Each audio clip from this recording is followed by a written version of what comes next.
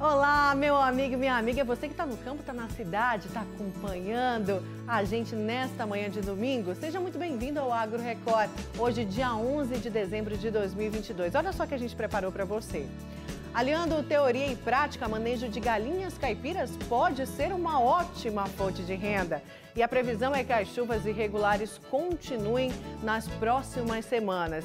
E, gente, domingo tem sempre aquela receitinha, né? Desta vez é de doce, especial fim de ano, uma árvore de Natal de chocolate ao som da cantora Clara Barreto. A campeã do!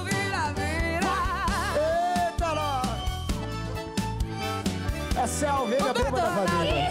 Eu sou a ovelha beba, viu? Tá imperdível, gente. Tudo isso e muito mais a partir de agora no Agro Record. Vem cá.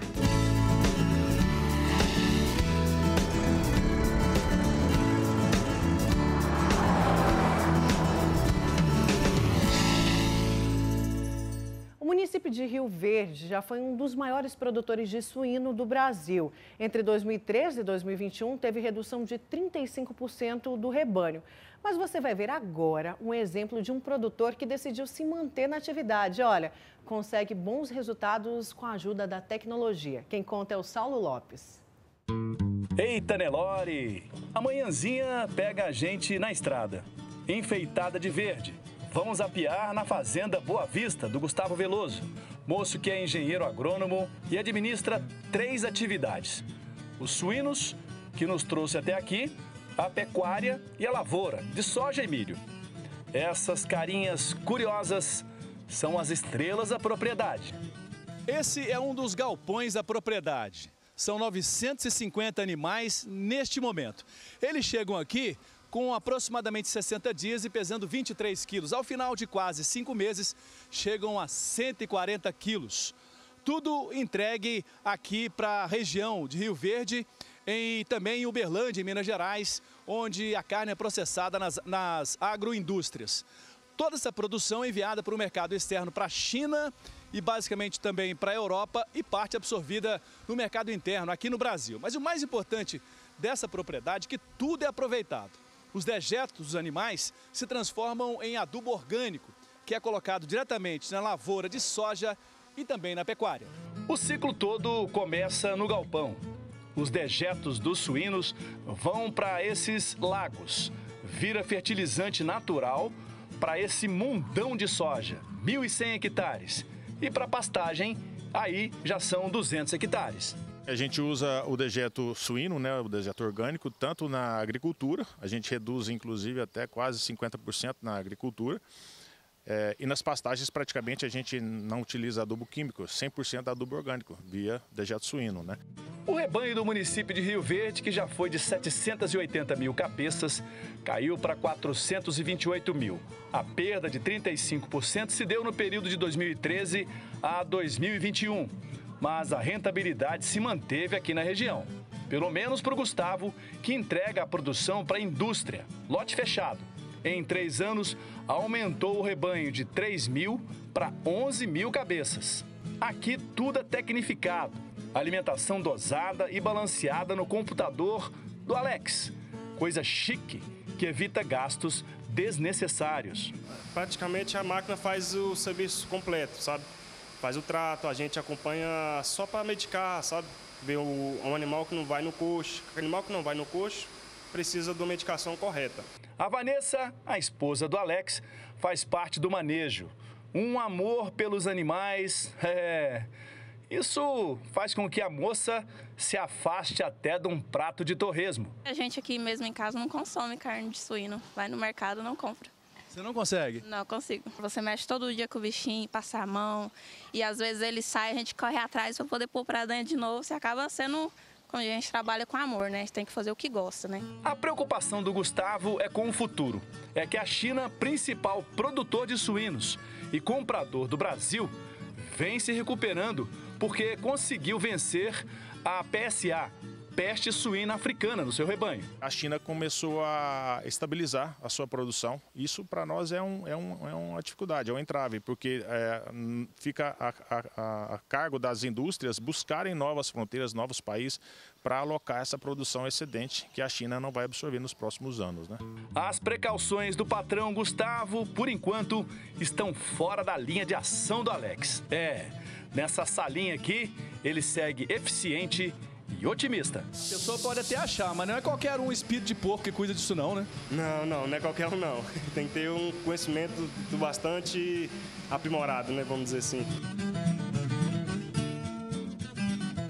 Ai, gente, que maravilha, né? Você vê o tamanho dos animais também, como estão saudáveis, isso tudo com a ajuda da tecnologia. E é bom a gente diversificar o consumo dessa carne. O mercado de suíno é muito grande aqui no Brasil. Quando a gente diversifica, come suíno, come frango, a gente acaba barateando o preço da carne vermelha também, da carne de boi. Né? Isso quem fala são os especialistas. Inclusive, incentivo a gente a poder diversificar no prato. E olha, vem aqui. Você sabe o que é um horto medicinal? São locais com plantas que ajudam no tratamento de doenças e produção de remédios. A Carolina Rabelo foi conhecer um espaço desse e vai contar agora pra gente.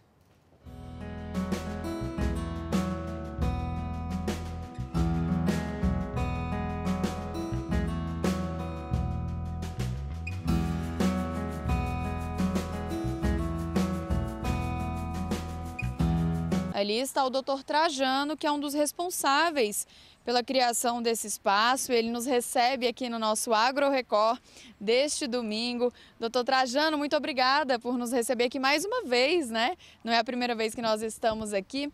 E para a gente poder explicar primeiro para quem está em casa nos acompanhando, o que, que é um horto medicinal? Um horto agroflorestal medicinal biodinâmico, ele é totalmente cultivado a partir de um conceito de consórcio entre plantas, por isso a gente chama ele de agroflorestal. Né? Ele está amparado nos conceitos de convivência entre diferentes espécies. Ele é medicinal, obviamente, porque ele tem um, um foco, um recorte para plantas medicinais e para plantas alimentícias não convencionais. Então, isso dentro do que a gente chama de bioeconomia, tem um, um, uma economia específica, tem um, mercado específico. Né? E no caso da Secretaria de Saúde, é a intencionalidade de atuar na recuperação da saúde das pessoas. Ele é biodinâmico também, porque não utiliza adubos sintéticos, nem utiliza nenhum tipo de veneno. Então, ele é cultivado apenas com os próprios insumos que são produzidos aqui a partir dos, dos restos das plantas mais velhas, depois do, da, da coleta, né, do manejo, e alguns elementos mais simples, como os estercos compostados, fornecidos pela Emater, ou mesmo, como eu já falei, o, as próprias folhas que entram nesse processo de compostagem.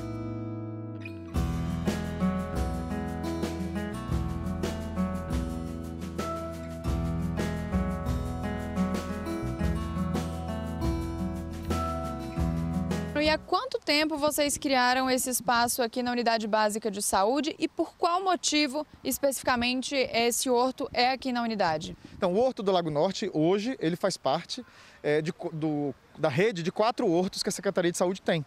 Né? Nós temos um horto uh, na Casa de Parto de São Sebastião, que é voltado a plantas uh, de extração de óleos essenciais. São plantas que são possivelmente utilizadas dentro do processo de parto é, e puerpério das mulheres que ali têm os seus filhos.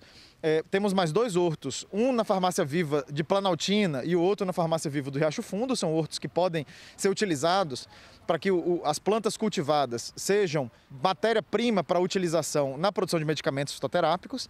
E esse horto, que é o horto pioneiro, né, que começou em 2018, ele tem um foco um pouco diferente, ou seja, nós ampliamos a utilização não só para a produção de plantas medicinais, mas nós entendemos que é um espaço seguro para que as pessoas possam conviver. Então, aqueles que são vizinhos ou mesmo que moram distante, mas desejam conhecer um pouco mais do cultivo e vivenciar um espaço comunitário seguro, saudável, em que as relações sociais se estabelecem de modo a promover uma cultura de paz, aqui encontram um espaço adequado para esse tipo de atividade.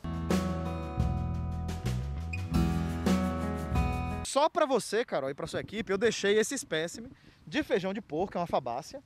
Então ele está aqui já é, é, no finzinho, né, no ocaso da planta. E aqui é hora da gente colher, da gente abrir a vagem. Olha aí, olha que riqueza. Isso aqui foi uma, uma unidade dessa que foi plantada aqui e deu todos esses indivíduos aqui, nessas né, sementes, que é, não devem ser consumidas por seres humanos, por isso ele é chamado de feijão de porco, mas é uma espécie riquíssima em nitrogênio, então a palhada é rica em nitrogênio, vou devolver para o solo.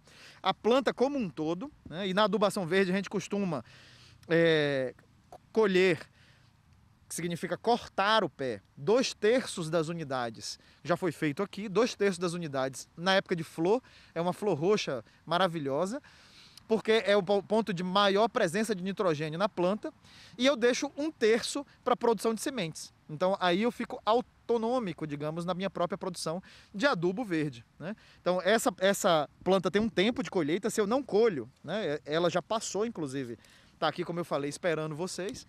Então, se a gente não colhe, essa, é, quem conhece feijão sabe, explode. Né? Essa vagem, é uma fabácea a planta, essa vagem estoura e esses feijões são espalhados naturalmente com retorcimento dessa vagem. E aqui a gente encontra vários indivíduos. Né? Doutor Trajano, e se esse feijão ele não é para consumo humano, o que, que as pessoas podem fazer com, essa, com essas sementes? Replantar para fazer a adubação do espaço. Né? É, é um risco comer esse feijão. Né? Eu, eu, como sou médico, eu me sinto na obrigação de instruir as pessoas nesse sentido. Né? Pode ser que alguém tenha comido feijão de porco e tenha dito, olha, não faz mal. Pode ser que alguém diga, olha, também é uma planta alimentícia não convencional, mas tem um ponto de colheita. Só que como o feijão é um, um alimento do dia a dia do brasileiro, né? Pode ser que alguém desavisadamente creia que é um feijão que pode se comer a qualquer momento e o consuma trazendo problemas para a saúde. Então a gente desaconselha aqui no horto o consumo desse feijão, deixando apenas como planta é, é, de adubação. Para quem quer uma planta que tenha dupla função, a gente tem, por exemplo, o feijão andu ou guandu, que é uma planta alimentícia não convencional e é um feijão que pode ser consumido pelo ser humano e é, também serve de adubação verde. Então, são essa, essa, essa diferenciação entre essas espécies que vai promover uma função desse horto fantástica para nós, que é a disseminação de informação, a disseminação de sementes de informação que podem gerar frondosas convivências pacíficas entre o ser humano e o ambiente ao seu redor. E caminhando um pouquinho aqui pelo horto medicinal, a gente consegue ver que algumas pessoas da comunidade estão bem felizes, bem à vontade por aqui. Como que é o nome da senhora? Terezinha. Terezinha, o que, que a senhora está fazendo aqui nesse pé de aça-peixe? É que eu estava passeando, andando por aqui e encontrei esse pé e me lembrou minha infância, que eu tive um acidente quando era criança, que minha irmã machucou minha cabeça com a enxada e a minha mãe fez uma amassarada, macerou e colocou num pano e botou e fez um emprasto, que eles chamam, botou na cabeça, porque é bom para inflamação, para não inflamar e para cicatrizar. E sem, e sem tudo natural. Gente, então essa plantinha aqui, além de ser anti-inflamatória, também serve para ajudar na cicatrização. Sim. E a senhora é a prova viva disso. É, isso aí, pois é. Estava aqui andando, nem sabia, não tinha, nem lembrava mais de como é que era o pé. Tudo que nós temos de maravilhoso e de rico está na nossa flora. Vejam que coisa linda esse pé de boldo. Esse boldo aqui, só você fazer um chá e tomar, você vai se sentir renovado depois de comer alguma comida que não fez bem, alguma alimentação que não fez bem. Agora, para você alimentar bem, você deve comer comidas naturais. Comer ora pronobis, eu até estava dando a receita para ela. Omelete com hora pronobis, chá de hora pronobis. E tudo isso é muito bom. Boldo é bom, né, gente? Tem um amigo ali, quando mexe pé na jaca, o Elias, está na direção, ele adora um boldinho, né, Elias? Gente, falando em plantas medicinais, o craque Neymar foi flagrado passando uma pomada no intervalo da partida entre o Brasil e a Coreia do Sul. Aqui a foto, você viu uma pomadinha aqui. E deu o que falar. Todo mundo ficou curioso para saber o que, que era aquilo. A pomada misteriosa é para acabar com a congestão nasal, dessas super comuns, sabe? Feitas com plantas medicinais. Qualquer goiano tem em casa, né? Bastou o Neymar passar aquela pomadinha próxima ao peito durante um jogo da seleção brasileira para os curiosos se perguntarem o que é isso que o camisa 10 está fazendo questão de passar. São aqueles géis de arnica, como esse aqui, gel de arnica. E são várias marcas que trabalham com essa manipulação, porque a arnica é algo assim que é da nossa população essa utilização. Na nossa natureza tem muito, e de tudo: arnica, alecrim, copaíba e por aí vai. Nossas avós lá na roça sempre têm uma boa receitinha que vai melhorar o machucado, a respiração. É uma plantinha natural que elas acreditam ser melhor que muito remédio. Um professor uma vez falou que a medicina tradicional brasileira são as nossas plantas, a nossa fitoterapia, né? E a fitoterapia, Lorena, ela faz parte das FICs liberadas pelo Ministério da Saúde, que são 29. São muitas opções que vêm em diferentes embalagens com nomes curiosos e que exaltam o poder das ervas. Quem usa não abre mão da pomadinha milagrosa. Passa esse gel aí no, no joelho, passa na panturrilha, passa nas costas, né? Então, esse gel é um gel que já diz o nome, né? Gel milagroso. Para quem segue o conselho da avó no uso das plantas medicinais em pomadas e gel, é bom seguir o da farmacêutica também. Usar, mas com atenção e moderação. Eu tenho que ter aquele cuidado de a quantidade que eu vou usar, né? É, quantas vezes por dia que eu vou passar, né? Se for uma criança, a região que está machucada, né? É porque o cheiro de alguns, o aroma, que é quando a gente passa, ele é muito forte. Se nunca passar de uma vez, ver se a pessoa vai, vai adequar bem aquele uso daquele produto. Esses cuidados que a gente tem que ter né, com a maioria dos produtos que a gente utiliza. Agora chegou a hora do quadro Senar Goiás, do campo à cidade.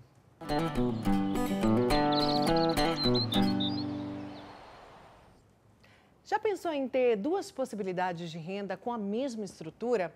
É isso que o Senar Goiás está ensinando com um novo curso de aquaponia. O doutor em ciência animal, instrutor do Senar Goiás, o Felipe Tiago Leite, veio aqui nos dar mais detalhes. Bem-vindo, seja muito bem-vindo aqui ao Agro Record. Entender melhor, nunca tinha ouvido falar aquaponia. Aquaponia, tá certo? Aquaponia. Aquaponia. Como que é esse manejo?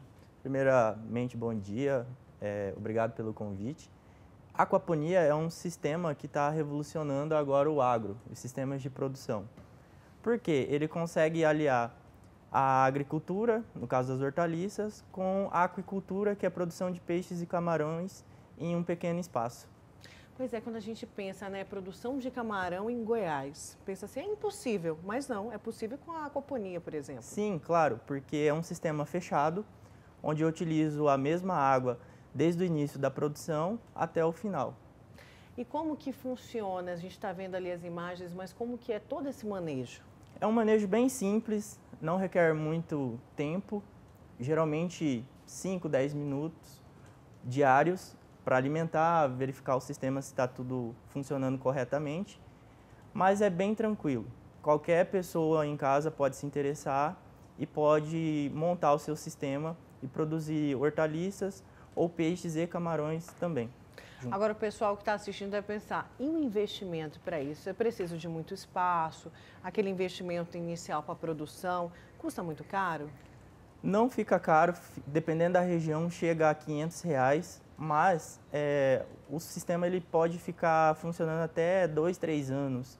E questão do espaço, ela está sendo muito utilizada agora na agricultura periurbana ou agricultura urbana, que ela é realizada dentro do, da cidade, das metrópoles. No caso aqui em Goiânia é possível fazer esse, essa, esse sistema porque ele é, requer pouco espaço, pouca manutenção e relativamente um baixo investimento, né? 500 reais é pouco.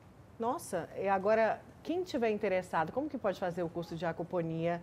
É, quando que vai abrir novas turmas no Senai? Como que as pessoas fazem para se inscrever? A partir do dia 9 de janeiro já inicia as novas turmas e é possível fazer a inscrição por meio do site do Senar ou procurando o sindicato rural da, da cidade ou um mobilizador que faz esse, esse trabalho de, de é, inscrição. E a estrutura do curso, muito difícil não? Não, tudo simplificado. Qualquer pessoa leiga que não tem muito conhecimento do campo, de hortaliças, de peixe, pode fazer. No curso vai abranger todas essas áreas, tudo de forma muito simples, didática e prática. Que legal, gente. Olha só, pega essa oportunidade, agarra telefone e e-mail, telefone e site aí na sua tela. Obrigada, viu? Obrigado. E esse foi o quadro Senar Goiás, do campo à cidade.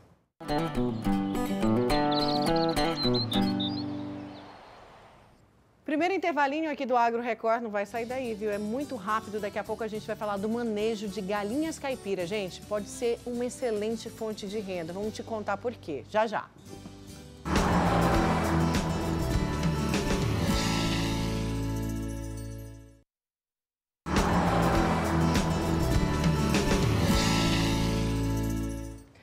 De volta com o Agro Record deste domingo. Olha, daqui a pouco tem aquela receitinha, viu? E essa da semana é especial já fim de ano, não vai perder. Em Anápolis, um pequeno criador apostou no manejo de galinhas caipiras como fonte de renda. A iniciativa vem rendendo lucros, mas para investir nesse ramo é preciso alinhar a teoria com a prática. Quem vai contar é o Léo Gonçalves. Numa área de 12 mil metros quadrados, o Juarez está criando cerca de 500 frangos caipira pé duro. São tantas aves que é até bonito de se ver.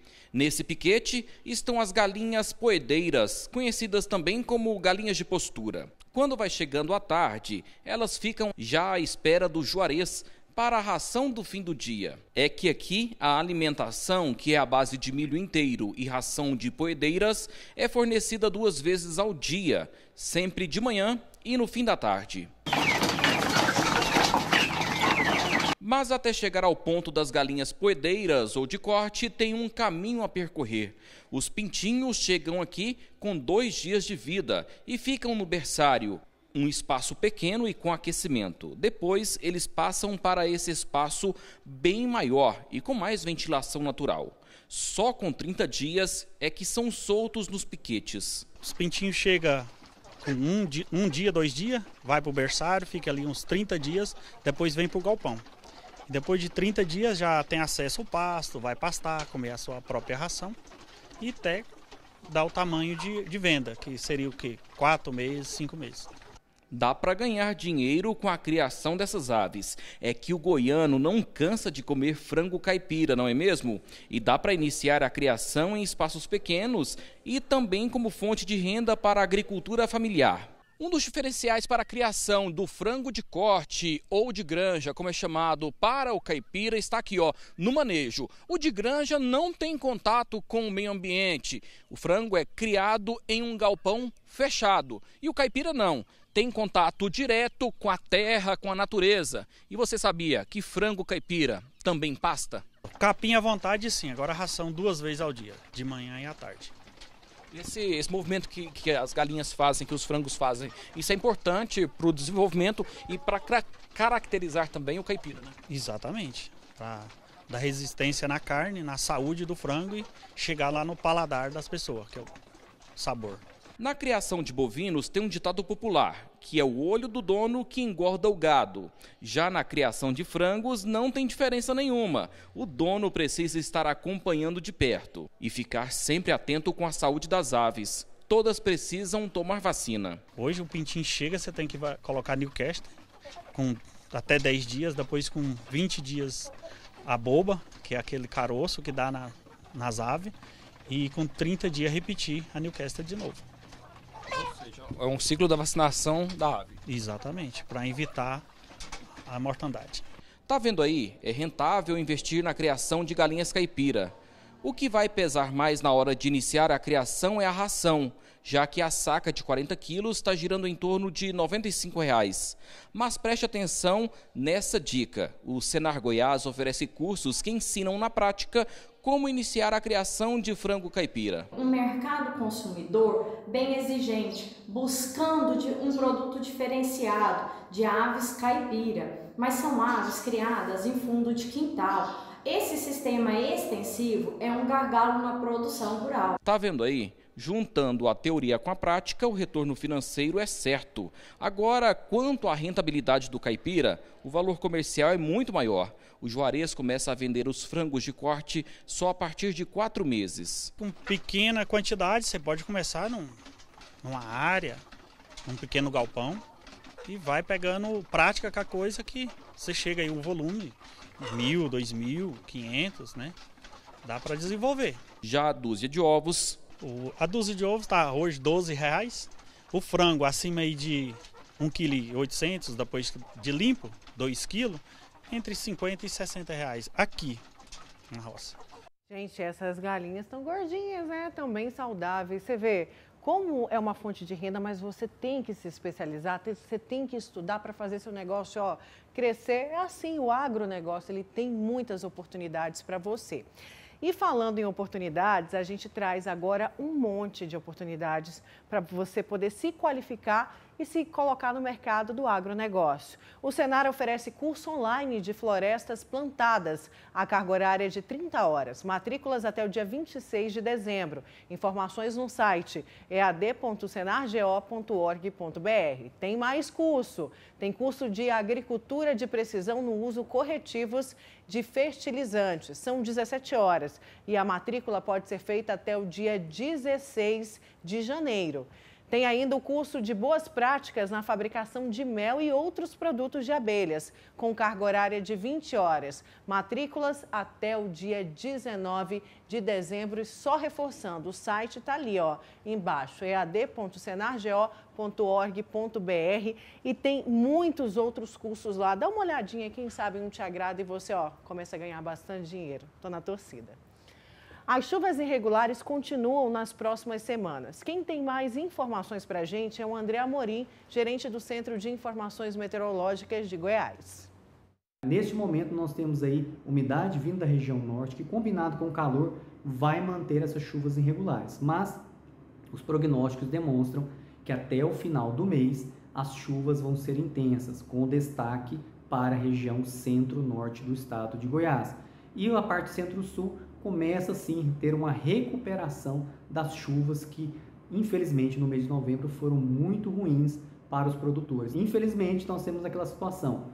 O próximo plantio vai ficar prejudicado por conta desse plantio tardio que está acontecendo hoje. Então, a segunda safra, sim, teremos aí que fazer um novo planejamento em cima dessas datas por conta do atraso na, no primeiro plantio aí que nós estamos tendo agora ainda da primeira safra nesse mês de dezembro. Mais um intervalo, não vai sair daí porque daqui a pouco, sabe? É para dar o play no domingo, porque tem aquela receitinha que a gente sempre traz. Dessa vez é um doce. É um doce. A Clara Barreto, que é cantora, também vai cantar e ensinar você a fazer uma árvore de Natal de chocolate. Hum, olha aí, gente, que delícia. É já já, não sai daí.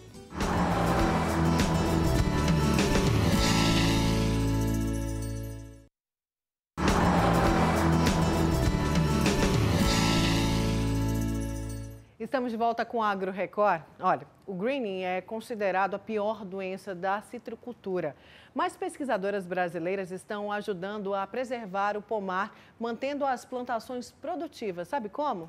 Vem comigo acompanhar na reportagem.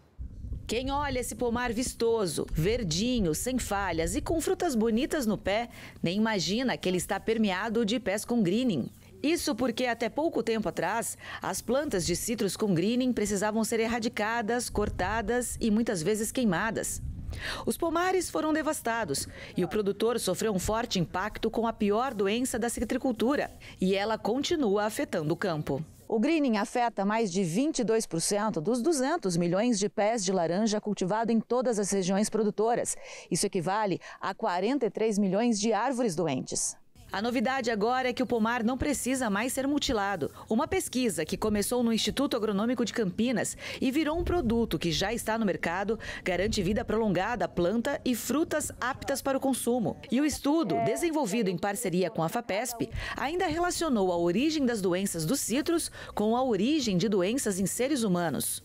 E aí a gente começou a investigar. Bom, o que, que a gente pode trazer de moléculas que já são utilizadas em seres humanos para curar, né, para poder controlar essas bactérias que pudessem ser transferidas para a agricultura. Foi daí que nós chegamos no N-acetilcisteína. A pesquisa teve início em 2009 e de lá para cá outras pessoas foram sendo incorporadas ao projeto. A pesquisadora Simone integrou a equipe da doutora Alessandra e saiu do campo da pesquisa para a abertura de uma startup para fazer a transferência da tecnologia.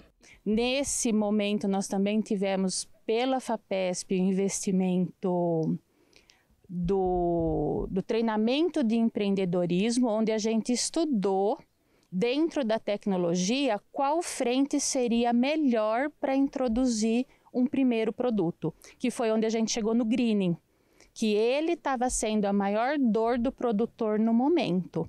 Porque aqui no Brasil, e principalmente aqui no, no IAC, que são nossos parceiros, tem pesquisadores fantásticos e tem pesquisas de ponta. Então, para as empresas, vale muito a pena apostar nesses pesquisadores, nessas pesquisas, porque não precisa sair do quintal de casa. A partir daí, o resultado da pesquisa foi para o campo. Em forma de fertilizante líquido, aplicado no solo ou nas folhas, o princípio ativo é levado para dentro da planta, exercendo a função de desentupidor, desbloqueando os vasos das plantas infectadas. Assim, os nutrientes voltam a ser absorvidos e o pomar volta ao ciclo de desenvolvimento. O efeito que a gente viu tanto na folha, tanto na retenção de frutos, manter a produtividade do pomar, com isso as, as raízes voltaram a ser saudáveis e voltaram e as plantas continuaram a produzir realmente e não deixaram o fruto cair antes da colheita, que é coisa comum do green. Essa fazenda, localizada em Casa Branca, no interior de São Paulo, tem 220 mil pés de laranja. Há três anos, as plantas doentes eram erradicadas. Hoje, depois de uma fase de testes, em toda a área de 300 hectares está sendo aplicado o produto da pesquisa desenvolvida no IAC. Para Karina, produtora rural há sete anos à frente dessa plantação, o resultado atendeu às expectativas. O terror da, do greening para a gente é porque derrubava a fruta. Então o pé a gente ficava sem a produção. E esse produto ele veio e ele segura a fruta no pé. Então a gente não perde. Então o pé ele está mais saudável. Você vê que tem galho que está com greening, mas a próxima é, vegetação que vem ele vem mais saudável. Então está tendo uma sobrevida e a gente está vendo que está conseguindo é, continuar a produção, continuar com o pomar com esse produto. O controle do psilídeo, inseto vetor das bactérias causadoras do greening, e o manejo da cultura continuam sendo feitos na propriedade.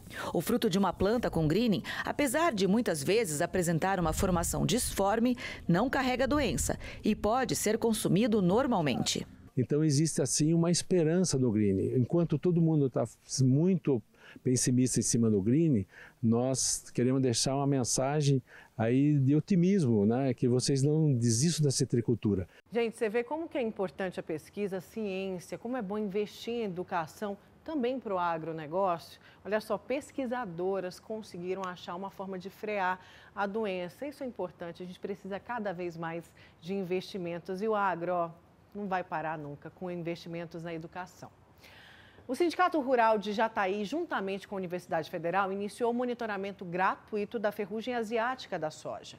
O monitoramento é importante para garantir a produtividade da lavoura, uma vez que o controle mais eficiente da ferrugem asiática é o é o preventivo, né, gente? Tem que ser feito. Quem tiver interesse pode levar as amostras em, uns, em sacos identificados com o nome do produtor, talhão e variedade, até o Sindicato Rural de Jataí.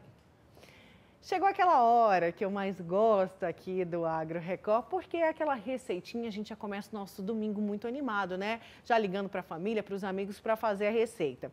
Dessa vez, é, a gente vai ensinar uma receita de fim de ano. Para uma decoração de Natal ficar bem completa, não pode faltar a árvore. Mas que tal uma árvore de Natal comestível, hein? Toda de chocolate. Que delícia!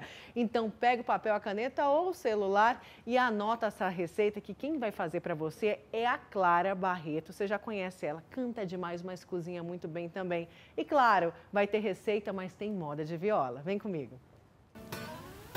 Eu esqueci você.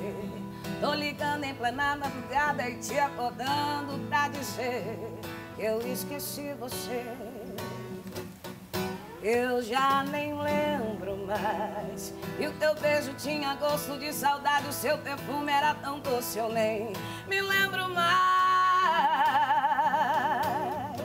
Se eu te ligo da mesa de um bar, se você já cansou de escutar que um dia eu iria esquecer esse dia chegou, acabou de chegar. Se ainda guardo lembrança de nós na memória do meu celular, se carrego comigo uma foto a gente tirou lá na beira do mar, tudo isso é pra você lembrar, lembrar que eu te esqueci. Tudo isso é pra você lembrar. Lembrar que eu te esqueci. Apresenta aqui o Gabriel, Gabriel, né? Miranda, nosso violeiro há muitos anos, E aí, Gabriel, parceiro, beleza? Bom demais. boêmio. Prazer estar aqui com vocês. Oh, que maravilha. A Clara, inclusive, já participou do Agro Record, está participando com a gente de novo. E nesse quadro aqui, além de música, além de moda boa, tem receita também. Estou sabendo receita. que tem uma receita especial para o fim de ano, né? Com certeza, todos vão gostar aí para fazer uma, uma mesa especial no final de ano e até presentear alguém. O que, que vai rolar hoje? Hoje tem árvore de Natal de chocolate. A gente vai mexer com uns docinhos aí. Para quem não sabe, eu era confeiteira. É mesmo? É. Trabalhou como confeiteira, Trabalhei muito tempo. Até na pandemia me ajudou muito confeitaria. mas você trabalhava eu é, fui confeiteira. em casa mesmo? E- é, Trabalhava fora. Depois que eu fui fotógrafa, depois resolvi realmente ser cantora. Mas sempre Criei cantava. Sempre cantava, desde pequena, na igreja. Profissionalmente? Profissionalmente foi depois que a gente cria coragem. Aí, que bom que criou coragem, que Né? bom para todos nós, né? Que, Que aí bom. a gente pode ouvir é, essas canções maravilhosas nessa voz que impecável. Vamos fazer mais um trechinho de uma? Vamos. Mais uma, vamos lá? Essa é a nossa música de trabalho, tem problema não. Léo Rafael, os meninos da Pecuária e Clara Barreto. Vamos lá. Chegou atrasado no encontro, sorrisão chamou tanta atenção. Eu nem reparei que tinha uma marca no dedo de uma relação. O beijo era bom, mas no fundo tinha um gostinho de competição.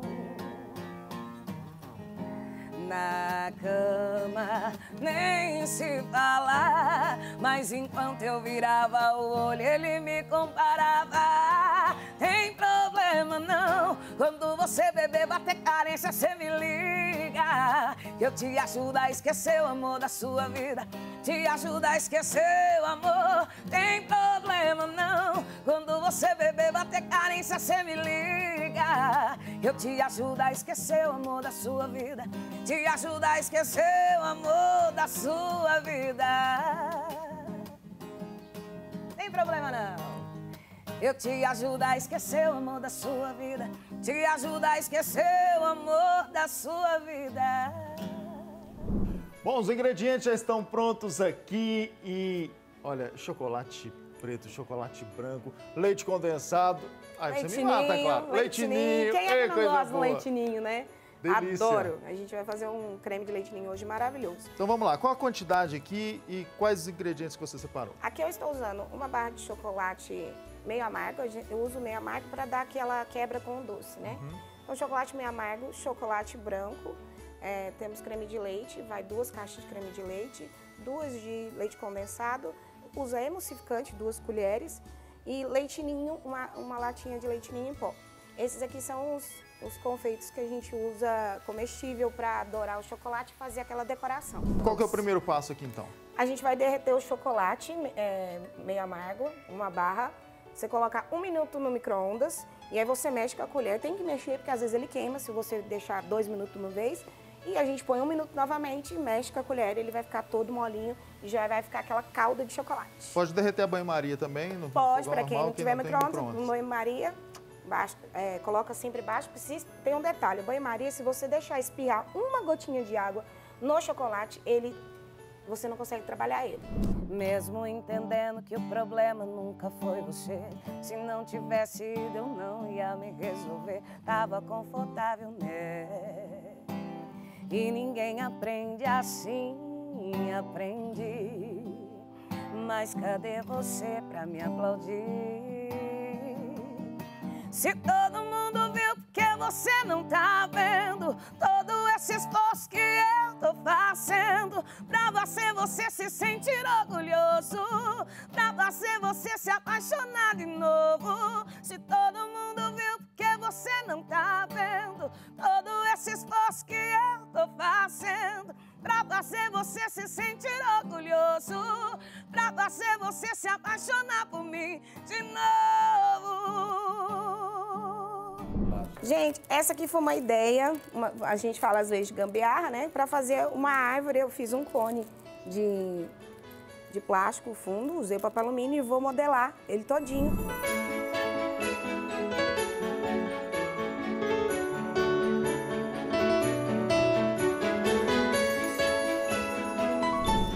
Deixar secando como aqui hoje tá frio, eu não vou nem voltar na geladeira para fazer a segunda camada. Então aqui é a nossa árvore, Nossa árvore que vai Depois que você vai a com- base. complementar Agora eu vou vir com- com os bombonzinhos. com os bombons.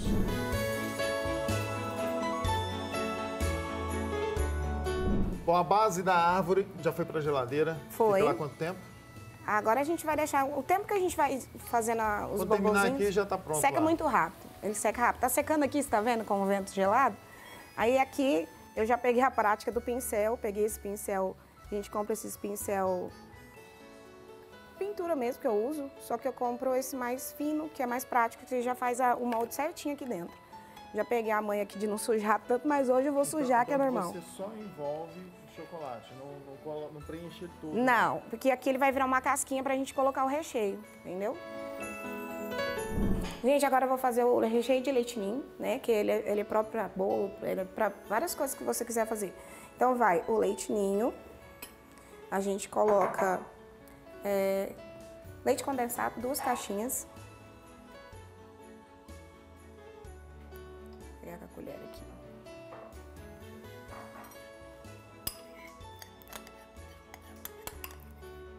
Esse é o mais gostoso do, do doce que eu amo. E o creme de leite, duas caixinhas também. Uhul! Despede mais perto, né, gente? Pra não tomar um banho de creme de leite. Duas colheres de emulsificante. Esse segredinho aqui é para o seu creme virar um mousse, tá? Emulsificante neutro que você coloca aqui na receita. Eu coloco uma e meia, na verdade. Depende do tanto que você quer fazer. Quanto mais quantidade, geralmente é uma ou duas colheres. Mais que isso não, senão fica um gosto muito forte.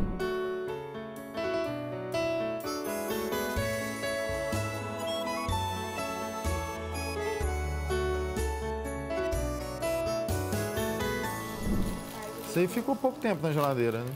Ficou, ficou pouquinho tempo porque eu deixei ele mais cremoso. Mas como ele fica consistente depois que você põe pra gelar, não tem necessidade de esperar tanto. Eu faço um biquinho aqui e vamos lá pro recheio dos bombons. Que é a coisa mais prática agora, tá vendo?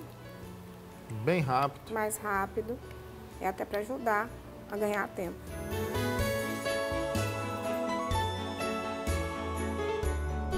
Aí aqui então você vai preencher já com o chocolate? Já. Não Você precisou levar rende, na né? geladeira de novo. Não, porque hoje tá friozinho, que eu te falei. Quando o tempo tá mais frio, não tem necessidade. Aqui tá bem friozinho hoje em Goiânia, né? A gente pega a colher menorzinha, que senão a, a grandona vai te... E vamos tampar aqui, ó. Não tem segredo. Tampou, secou, você vai virar e ele vai fazer o bombonzinho certinho. Gente, agora pra desenformar, não tem segredo, ó. Aqui embaixo tem que estar cinzinha, não pode estar preto, mostrando que tá grudado. Você vai bater caso aqui ele ainda tá cinza um pouquinho. No caso, se ele não soltar, você só aperta um pouquinho, ele sai inteirinho, ó, tá vendo? Claro, agora é uma hora tensa, né? Essa hora que eu estou com medo, gente, mas vamos lá. Vamos vai dar certo, vamos lá. informar ela aqui. Se der- um chapéu também, né? É, você quebra aqui, ó. Essa é a hora do... Taraná.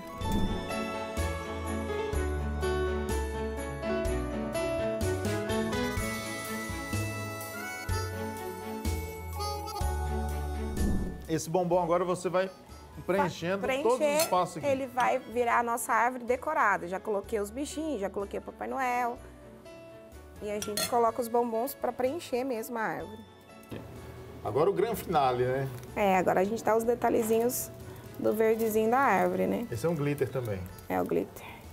Tudo pronto, deu um pouquinho de trabalho, né, Clara? Dá, mas pra Tem quem, que ter paciência. quem não tiver paciência, eu dei a outra opção, que é as caixinhas A de caixinha bombom. de bombom. que é prática. E pode dar de presente, Pode né? dar de presente, Fica fica, bem legal. bonito, fica uma coisa bem diferente pra você né, Agora, decorar a mesa. Essa Árvore de árvore aqui Natal. ficou linda. Olha que capricho. Dá, Dá- até dá pena de dó de comer. comer. Dá dó. Como é que eu Ah, faço vocês agora? não vai ter dó de comer, certeza. Ainda mais recheada de leitinho. Posso comer um, então? Pode. Vou pegar um bombom Vai aqui, lá, ó. tira Ó. lá. Ai, ai, ai. E o mesmo? Desgruda, desgruda, desgruda e vai. Aê, assim, ó, assim. Hum. Olha o leitinho, gente, macio, cremoso. Olha isso. Eu gosto. Não é enjoativo. Não é enjoativo, porque o chocolate é meio amargo. Dá Então essa- dá essa essa, quebra. né? Fica muito Nossa, bom. que delícia. Hum. Vamos cantar então pra Então gente vamos. encerrar? Cantar, vou cantar uma música que eu mais gosto do João Paulo Daniel aqui.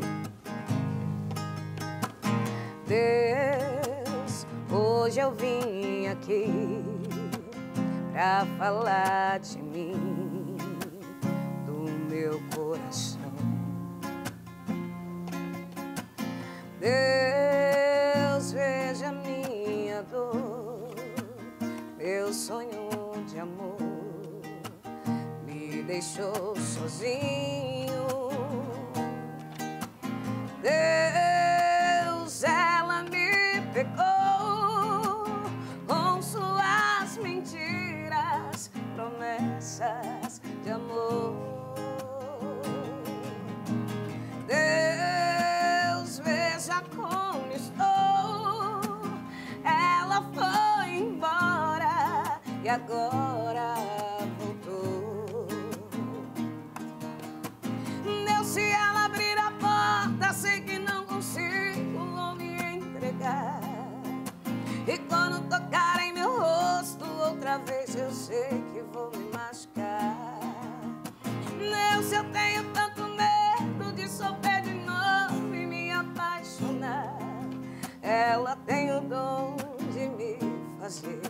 chorar. Ela tem o dom de me fazer chorar.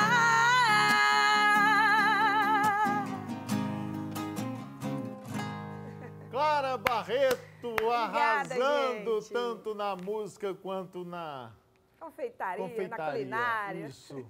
Parabéns, muito Obrigada. obrigado Obrigada por pelo nos convite. receber aqui. Muito obrigado por preparar essa Adorei essa refazer arte. a minha profissão antiga, né? Porque é uma arte, antiga. né? É uma arte. É uma arte. Agora, antes da gente encerrar, você vai comer também. um Com certeza. Então vamos lá. vou sair da dieta dois segundinhos, que segura aqui, Gá. E vou falar pra vocês, esse bombonzinho de leitinho é meu preferido. E eu vou pegar mais um Vamos lá. também, pra gente encerrar, agradecendo.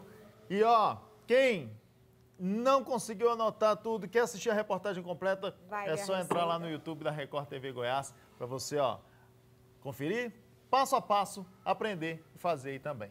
Valeu! Vamos lá. Tchau, gente! Todo mundo teve ou tem alguém arquivado num cantinho guardado, aquele contato decorar que a gente sabe decora e saltear.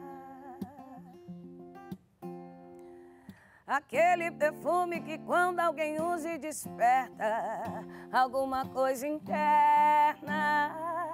Só de escutar o nome dele já bambei as pernas. É fato que ainda me afeta.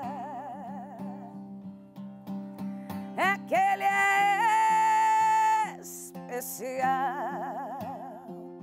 No abraço, no beijo, na cama não tem nada igual. É que ele é especial. Vai custar bocas e bocas pra esquecer a sua que é surreal. É que ele é especial. É que ele é especial. Que música linda, que receita maravilhosa, já no clima, né, de fim de ano. Ó, quero agradecer, Clarinha. Clara Barreto, eu sou fã, ela é maravilhosa, um ser humano incrível, com um coração gigante, do tamanho do talento dela. E essa árvore de Natal, hein, seu Marcelo Vidal, se esbaldou junto com Carlão, Carlos Martins, que nos trouxeram um bombonzinho pra gente, viu, Clara? Trouxeram um chocolatezinho pra gente. Espero que você tenha gostado. Vai sair pra sua família, tenho certeza que você vai arrasar, só vai dar você na ceia de Natal, viu? Gente, o Agro Record fica por aqui. Muito obrigada pela sua companhia. Viu? Tenha um excelente domingo abençoado e uma semana ó, recheada de boas novas. Até o próximo programa. Tchau.